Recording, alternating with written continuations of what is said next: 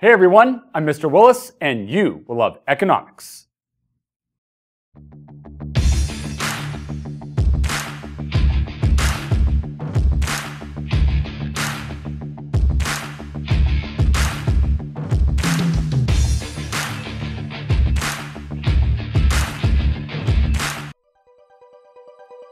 As consumers, the concept of demand is familiar to all of us because we live it every day. We use our disposable income to buy goods and services to maximize our utility. From a pack of gum to a plate of food to a brand new car. If you have the income to buy it and you're actively shopping for it, you have a demand for it. Let's see if this sounds familiar. You need a new pair of jeans, so you walk into a store looking to buy a pair that meets your needs, as long as the price is right. Because you're both willing and able to buy a pair of jeans, you have a demand for jeans the moment you walk into that store. Demand is defined as the various quantities of goods and services that consumers are willing and able to purchase at different price levels in the product market. In microeconomics, only consumers demand products. Consumers have needs and wants that must be satisfied by the consumption of goods and services. And so, market demand in microeconomics analyzes the demand of individual consumers or a group of consumers in individual product markets. In other words, your demand for those jeans that you were shopping for or the demand of all consumers looking for jeans in the jean market. This is the demand curve. Notice that it's a downward sloping curve. This is because the law of demand is in effect. The law of demand states that the relationship between price level and quantity demanded is inverse. This means that as prices rise in the market, consumers are less willing or less able to purchase the same quantity of output and therefore buy less. As prices fall in the market, consumers are more willing or more able to purchase the same quantity of output and therefore buy more. The inverse relationship that exists between price level and quantity demanded in the product market exists because of the law of diminishing marginal utility. This law states that as a consumer consumes a greater quantity of a good or service, he or she gains less and less utility with each additional unit consumed. In other words, each additional unit of output is less useful or satisfying to the consumer, and therefore is not worth as much as the previous unit. As a result, a consumer will not be willing or able to purchase each additional unit of a good at the same price, and so they'll only buy the next unit if the price level decreases. For example, remember when you needed that pair of jeans? Let's say you walk into that store and find a pair you like at a price of $50. $50 is a price you're willing to pay, and so you decide to buy the jeans. This pair of jeans is a high utility for you because it instantly satisfies one of your wants. You don't even consider paying $50 for a second pair because that price is too high for a pair that doesn't provide as much utility as the first. I mean, you can only wear one pair at a time, right? And so, you take the jeans to the counter so you can pay and go home. And then, as you're paying at the counter, the sales associate tells you about the store's buy one, get one half off sale. Dear This means that the price of the second pair isn't $50, it's $25. Nice! The second pair of jeans may give you a lower marginal utility than the first pair, but at a lower price, you're completely willing and able to buy them. And so, you buy the second pair and go home a happy customer. See? You never knew it, but all those buy one get one sales are simply taking advantage of the law of demand, a law that firms know you'll abide by. Economics, huh? As a result, when product prices fall in the market, consumers are either more willing or more able to demand a greater quantity of output. Although each additional unit provides less and less marginal utility, the price of each additional good is less expensive. So, to the consumer, it's worth buying additional units. As a result, a decrease in price level in the market causes an increase in quantity demanded of a good or service, and a movement along the demand curve from point A to point B. When product prices rise in the market, consumers are either less willing or less able to demand the same quantity of output. As each additional unit of a good becomes more expensive, consumers will reduce the quantity they demand because each additional unit satisfies less and less utility.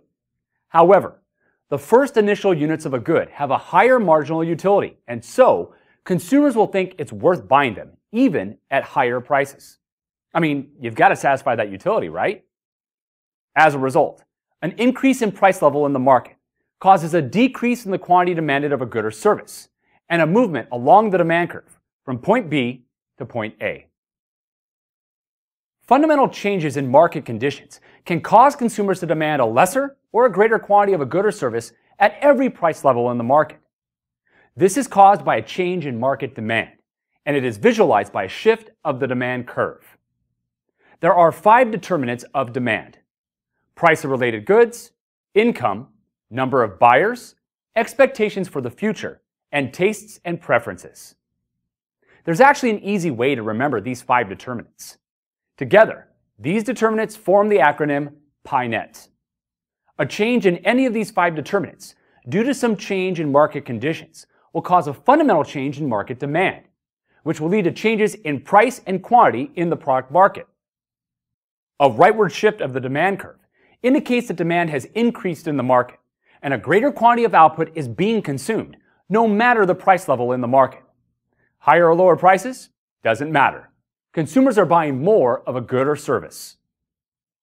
A leftward shift of the demand curve indicates that demand has decreased in the market, and a lesser quantity of output is being consumed, no matter the price level in the market. Higher or lower prices? Doesn't matter. Consumers are buying less of a good or service. Let's take a closer look at demand. The price of related goods refers to the price of substitute and complementary goods. A substitute good is a product that performs the same task as another good and can easily be used in place of another. Coke or Pepsi, chicken or beef, coffee or tea. These are great examples of substitute goods. A complementary good is a product that works in combination with another good to satisfy utility. Socks and shoes, milk and cereal, peanut butter and jelly. Each of these combinations are usually purchased together and are great examples of complementary goods. A change in the price of a related good can be a catalyst that fundamentally changes the demand for a good or service.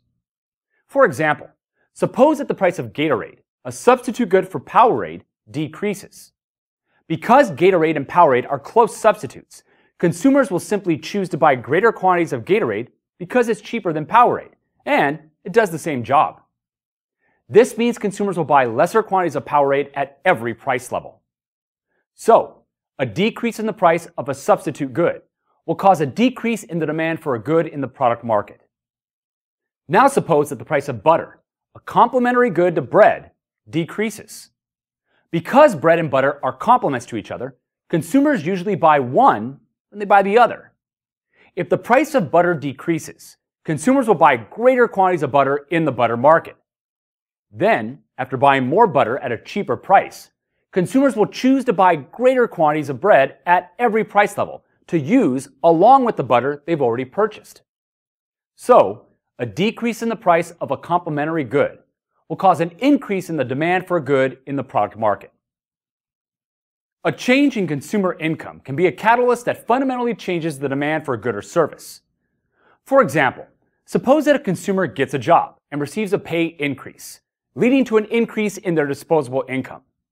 Now suppose that that consumer is looking to purchase dress shirts for his new job. With more disposable income to spend, the consumer will buy greater quantities of dress shirts at every price level. So, an increase in income will cause an increase in demand for a good in the product market. Now suppose that the state government raises income tax rates to pay for new roads, meaning you keep less of your paycheck after taxes leading to a decrease in your disposable income. Now suppose that you're looking to buy a new car. With less disposable income to spend, you may no longer be willing or able to purchase a car regardless of the price level. So, a decrease in income will cause a decrease in the demand for a good in the product market. A change in the number of buyers can be a catalyst that fundamentally changes the demand for a good or service.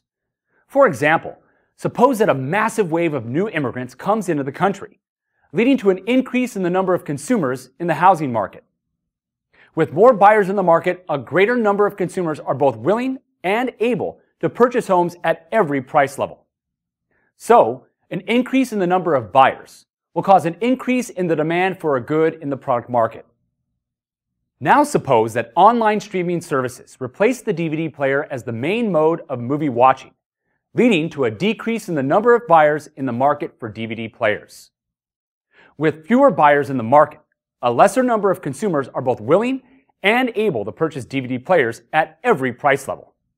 So, a decrease in the number of buyers will cause a decrease in the demand for a good in the product market.